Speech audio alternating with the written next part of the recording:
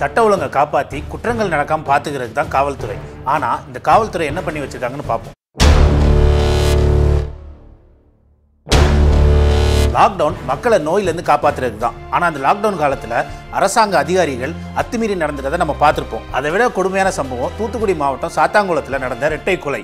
அதாவது விசாரணைங்கிற பேரில் நடந்த கஸ்டோடியல் டெத் ஒரு செல்போன் வியாபாரி லாக்டவுன் விதிகளை மீறி அதிக நேரம் கடையை திறந்து வச்சதா சொல்லி காவல்துறைக்கும் அந்த வியாபாரிக்கும் வாய் தகராறு ஏற்பட்டிருக்குது. சரி அந்த வியாபாரி ரூல்ஸை பின்பற்றலன்னே வச்சுப்போமே. அப்படியே பின்பற்றாமல் இருந்தால் சட்டப்படி நடவடிக்கை தான் எடுத்திருக்கணும் காவல்துறை.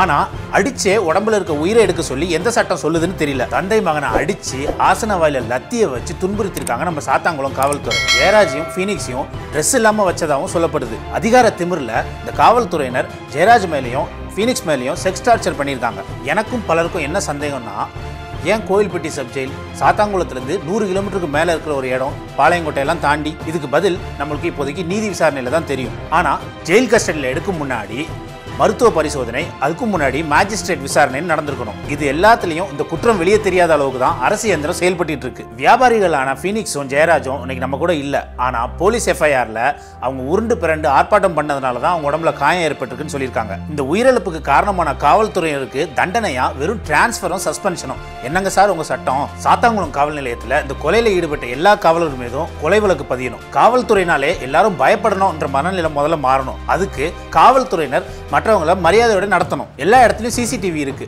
அதே மாதிரி காவல் நிலையத்திலையும் அவங்க யூஸ் பண்ற வாகனத்திலையும் சிசிடிவி இருந்துச்சுன்னா இந்த மாதிரி குற்றங்கள் நடக்காம தடுக்கலாம்.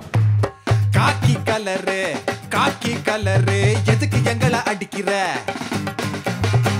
காக்கி கலரு காக்கி கலரு கழுத்தை புடிச்சு நெருக்கிற. செத்து போன ஆளுக்கெல்லாம் சிலைய நீ